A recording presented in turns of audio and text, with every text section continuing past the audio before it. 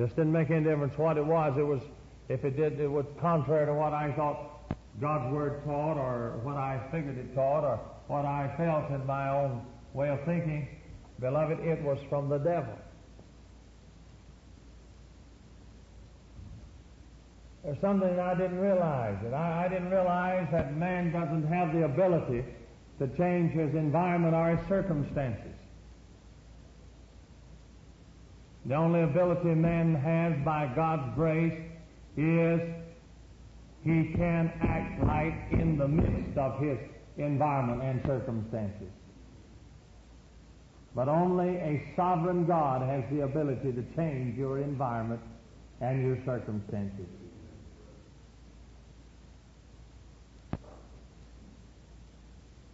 Consequently, every time God would speak in my environment, my circumstances in my life, I was misreading it. Because I would say it was of the devil. But you know, there was something I didn't understand. I didn't understand that the devil was God's delivery boy. I didn't understand that the devil was God's slave. I didn't understand that the devil was God's servant. And I didn't understand because of that that my dear friend, the devil was a necessary evil for my good. And all at that, all at, all the time I was praying, "Oh God, speak to me." Lord, I, I want you to help me. I, I want you to really do something in my life. I want you to bless me. I want you to fill me with the Holy Spirit. I claimed enough fillings to fill the Mississippi River a thousand times. You say, what happened? Nothing. But my dear friends, let me tell you something. One day, I began to see that the adversity that I was running into in my environment, my circumstances, was of God. Even though the, the devil was the delivery boy. And when I saw that, I began to realize that while I was calling on God, God was already calling on me. Well, you see, the very thing that I was missing was this. I could sense and see the fact that I had a need. I knew I had a need. But I thought my need was for these folk and people and things and situations around me to straighten out. I didn't know that God was talking to me. I didn't know, my dear friends, that that was His way of saying and letting me see that I had a need and I needed to be changed.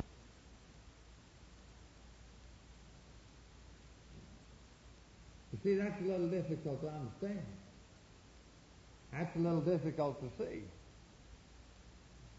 Because when you, when you see what I'm saying, if you find out this is true, that God never allows you to have any kind of problem that He doesn't already have the supply for it. Now, I'll lay this out and tie some things together in the economy of man, when you have a need, you start looking for the supply, right? But in the economy of God, God has the supply already on hand, and He allows the Holy Spirit and people, and, I, and most of all, He allows the devil to work in all kinds of situations. He allows dogs, cars, airplanes, mules, horses. well, what, I mean everything. He allows all kinds of things in your life to just work havoc. So all at once you'll see a need. And when you get desperate enough about your need, and quit trying to straighten everybody else out, one of these days you'll get to Jesus and you'll find out that this was Him allowing things to happen to you to create a problem in you so you get to Him where the supply is and He's had it there all the time. Like, uh, for instance, which one came along first? Which one came along first? The first Adam or the last Adam? The last Adam. For that's Jesus. And Jesus Christ, the Son of God, was before the first Adam. And before the first Adam ever came into the world, and Adam and Eve sinned, and there was a need for redemption, the God of atonement of grace and redemption, Jesus Christ, the Son of God, was already available. And the fall wasn't a slip up. Let's be honest with you, it's planned up. You say, did God plan it? Well, you settle it with God. I'm not interested in that. I'm more interested in the more practical parts of it. And that is the fact that God knew before Adam and Eve was ever created what they were going to do. And my dear friends, uh, he wasn't going to have a robot out there. He's going to have people to love him because he's lovable and he wants to be loved like that, not like he could have made any one a robot if he'd wanted to. But anyway, Adam and Eve, before they ever sinned and had need of a Savior, there was a Savior waiting for them to sin. And my dear friends, when they sinned, then I want you to know there was a Savior just waiting to meet the need of their life. And you know as well as I know that the devil got involved there, but everything the devil did turned for what? For good when Adam and Eve turned to Jesus. And my dear friends, the need they, they had already had a supply before they had the need. Isn't that right? And I've got news for you. The supply was there before there was a need. And many, many times in my own personal life, I've got down on my knees and said, Oh God, where are you? I've got a need. And I didn't need to call on God. You know why? Because he, he was calling on me.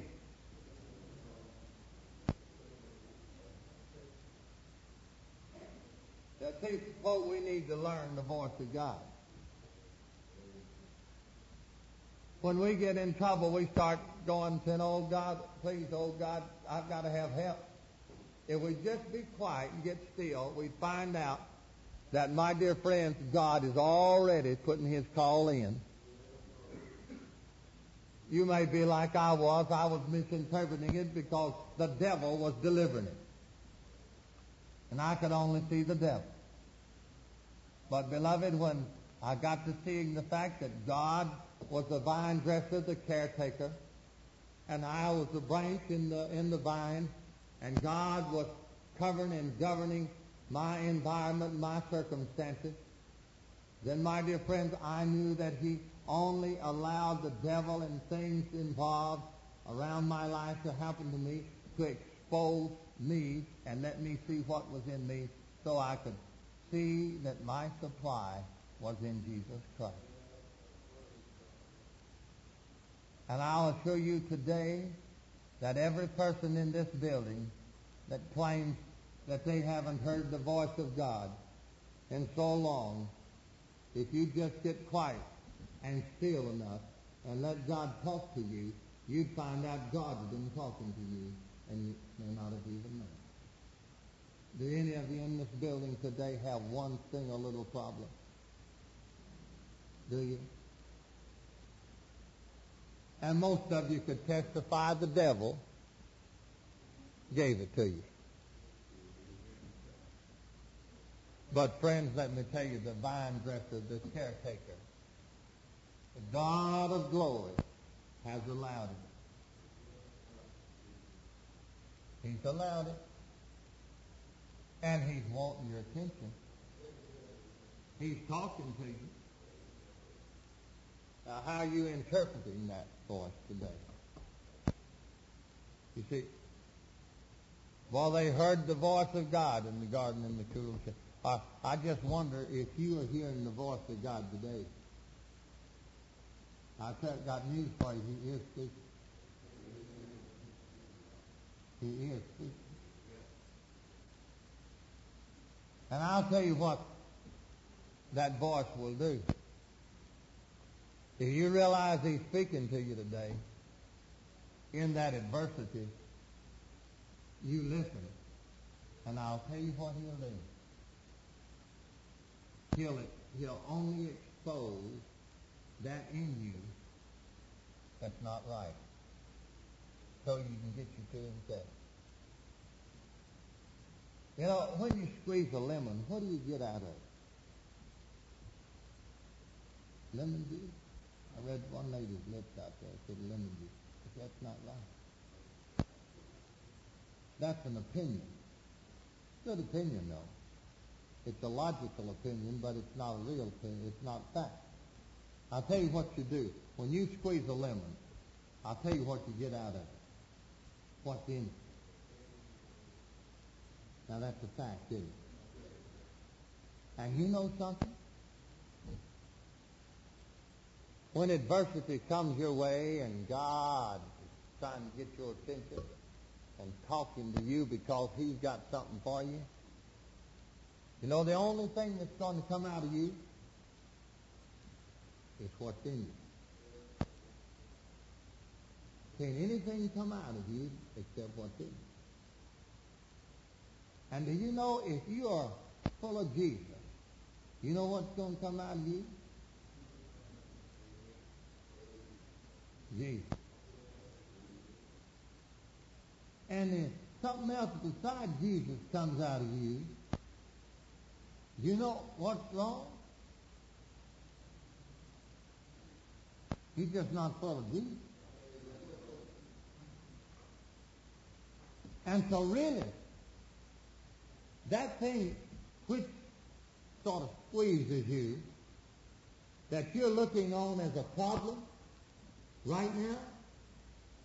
And you're saying that deacon is my problem. That church is my problem. That situation is my problem. That's my problem. No, your problem is your reaction to that problem. For the Lord has allowed that problem to come to squeeze you, let you see what's in you.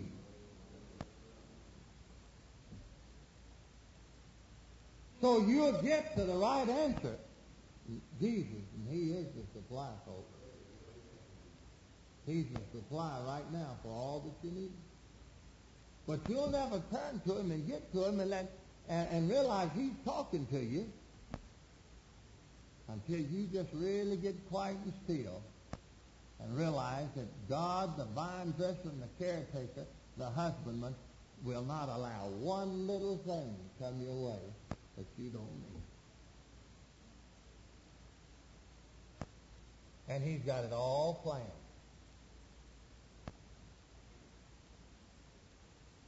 Job had a little problem.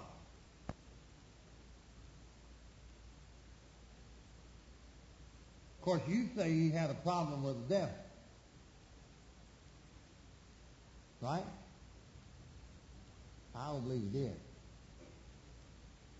I don't believe Job believed he had a problem with the devil. You say, why don't you believe that? Because he never did say anything about it.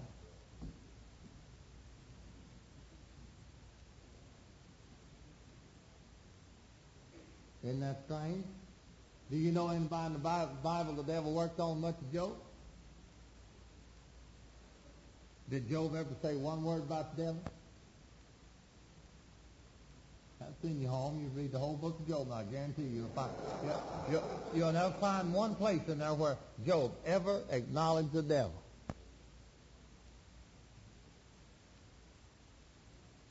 Now, if you and I had the problems Job had, we'd say, man, the devil's about to kill him. Never said that. What? Job never said that. You go back and look at that story. Sons of God went to worship. Job, or uh, the devil went with them. See, the devil does go to church, folks. And the devil got up there with Job, with the servants of God, sons of God, and God said to the devil, now God said to the devil first, have you considered my servant Job? You see, he asked the what, you been, what you been doing? He said, I've been running to and fro here there. So he said, have you, have you considered my servant Job? I said, well, I want you to consider. You see, God wasn't upset. He knew. You see, God had something more for old brother Job. It's amazing about You know, these folks sitting in these churches, you know, they so sanctimonious, they say, bless God, hallelujah. I'm filled with the Spirit. I don't need, I, I don't need any more. But I got news for you folks. You can be full of the Holy Ghost right now, but you can get more full of the Holy Ghost. Old Job was perfect, and he got more perfect. I never been in a service where if God was revealed in a way that I never experienced in that I couldn't get more right, even though I was right. Yes, sir.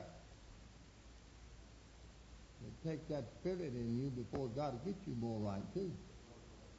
And so, uh, you see, God initiated Job's problem, not the devil.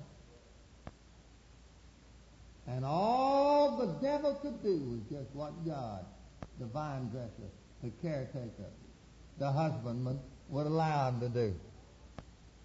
And all, my dear friends, that God allowed the devil to do was be his delivery boy. Amen. To make him more perfect. And uh, if his latter end was about how many times better than the beginning? Praise goodness. You want double portion? Well, Jack there's you a good sermon, son, on how to get the double portion. All these preachers want power. You know what I think about that? I don't think you know what you're talking about. And all these people want to get full of God today. I don't think they know what they're talking about. You say, why? Because the psalmist said, in distress he enlarged me. And brother, before the resurrected power of glory can rest upon your soul and set your life aflame, my dear friend, you must go through death. Come out to where you see, my dear friends, the devil is God's slave. And every adversity that touches your life is nothing but God enlarging you, calling you to that supply that He's had waiting on you, my dear friends, for eternal ages.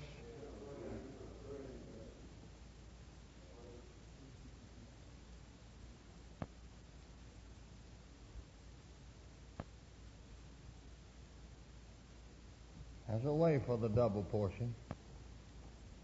Job never recognized the devil. Did he? Not one time.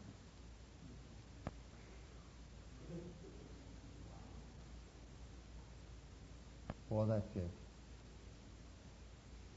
Now, he didn't understand, did he? But he said, though he slay me, I'll not forsake.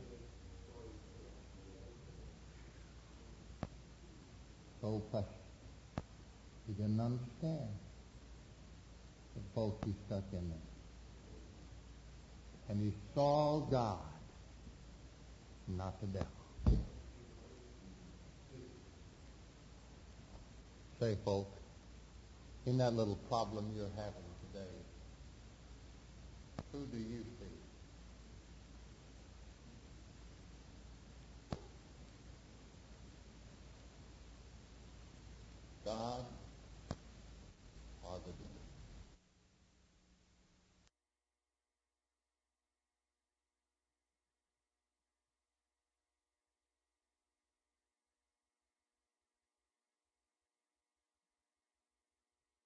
Many times it's gone through my heart, beloved. What we call adversity in our life with God. The Lord speaking. We just didn't realize Him. And He's warning. He's talking to you. And as long as you see it, it's the devil. My dear friends, you'll keep trying to change your environment, your circumstances, and you can't do it. You can change, do all you want to, but only God can change your environment, circumstances. What did he say in Psalms? He said, unless God builds a house, it's built in what? Vain. He said, listen, unless God watches over a city, the watchman really watches in vain. He said, listen, that watchman can't keep that city. God. He said, a man can't build that house. God has to do it. And my dear friends, listen, you can't change your circumstances and your environment today, regardless of what they are. You can't, but God can. And folks, there's no problem too hard for God, is there? You name it. Is it too hard for God? Is it too big for God? Is it too difficult for God? Is it? No, sir. Not one. But you see, you've got to come to the place where you could try and change your environment, your circumstances, and get to the simple place, my dear friends, where you see that those adversities that you have, they're God. And they have been sent your way. And the devil possibly is the delivery boy. And I admit, if you look at them in the human sense, it's all you're going to see is the devil. But if you'll get to looking at them as God sees and see God in them, the first thing you know, you'll like life. You'll in all things give thanks. You'll praise God. You'll know it's God speaking. And you'll say, Lord, what are you saying to me? And you'll quit jamming the line because you get down and say, oh, God, straighten out that preacher. God, straighten out that deacon. God, straighten out that person. God, straighten out this one. And you'll say, God, I'm listening. What do you have to say? And see, when you get what God has to say to you, you become submissive to God. Then you come to the place where you can resist the devil and he can flee. But you can never come to that place until you come to the place of submission to God, seeing God in all things. Remember what Joseph said? He said, you said to his brothers, he said, you did it for harm. But what about? He said, God is with me all. Amen. Now, friends, haven't you been praying that God would fill you with the Spirit and use you and make you more usable? Haven't you? Well, when the adversities and difficulties and problems start coming your way, why do you run? Why do you rebel? Why do you say they're of the devil? Why do you reject them? All the Lord's doing is answering your prayers. He's pruning you. He's enlarging you. He's making your capacity, your capacity larger so you can be a greater container Him and enjoy the glory and the praise of God in your life. It's difficult? Paul, and I'll share this in close because I realize that we're over time and I know that you're tired. And you probably already heard more than you're going to live out. And that's very tragic to hear so much and not live it. In thankful that's dangerous. But you see, there's a little secret in Paul's life. One day at Philippi, he was beaten. Paul could have said, I'm a Roman citizen. Why didn't he? Why didn't he say that? They would not have beaten him. Why didn't Paul say, I'm a Roman citizen? Even after he was beaten and put into jail. Why didn't he say, I'm a Roman citizen? They would have taken him out of jail. Why didn't Paul say, I'm a Roman citizen? To the jailer. They would have bathed his back in oil, put him in the best motel, fed him the best lunch, and said, please, Paul, don't say a word about it. No, they committed a crime. Why didn't Paul say that, Fred? You know why I believe Paul did not say that I'm a Roman citizen? He didn't see the devil in that. He saw God. We see in Romans 8.29 it says that he, he has predestinated us to be conformed to the in, to his image, that he might make us, or that he might be the first fruits among many brethren. And beloved, if the resurrected life of Jesus, the power of the Holy Ghost is going to rest in and upon your life, he's going to have to bring you to the place of death. For there is no resurrected life without death. And there's got to be a constant death in you that there might be life through you for others. There's got to be a constant experience like this. And my friends, Paul, I believe, realized that God was the vine dresser and the caretaker, the husbandman, and that he could not govern his circumstances and environment by his action. Personally, he could have changed it. But I believe he knew God. And I believe he knew that God was allowing death to be worked in him. Now you couldn't say that God literally put those lashes on Paul's back because God doesn't do anything like that. But my dear friends, I've got news for you. God was in every bit of it. But the devil did it. And you know where those lashes, where that jailhouse experience took him? To a point of death. Where only resurrected power could get him out.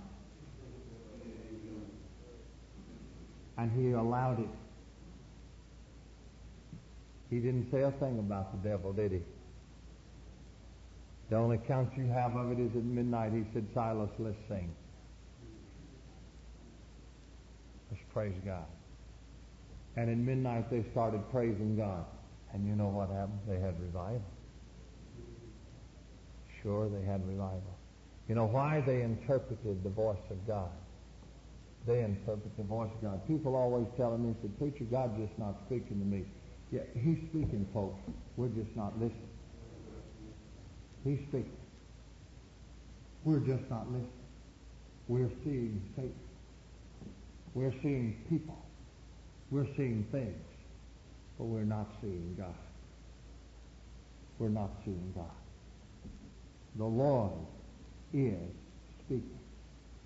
There's not one little problem that you have in your life at this very instant that God hasn't arranged.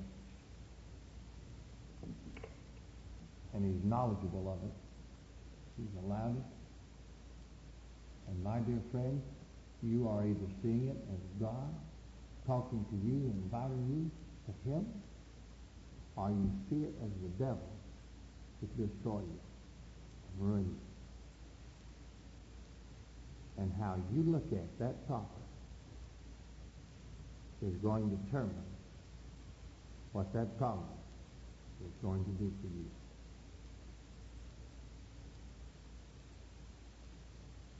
And how you respond to all of that is going to determine how Jesus is going to act towards you right now. More folk in this building this afternoon are nearer God than they think.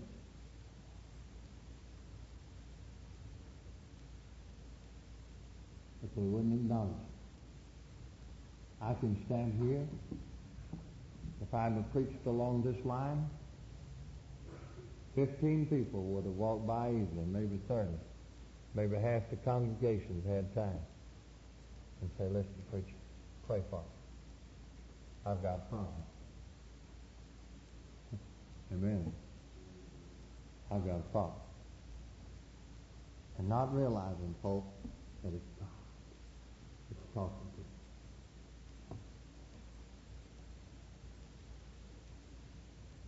Would you bow your heads, please? Father, we thank you for this fellowship. Lord, you're the God of glory that handles and runs our affairs. And I'm grateful that today you're able, ready to handle the situation. And thank you for doing it in Jesus' name.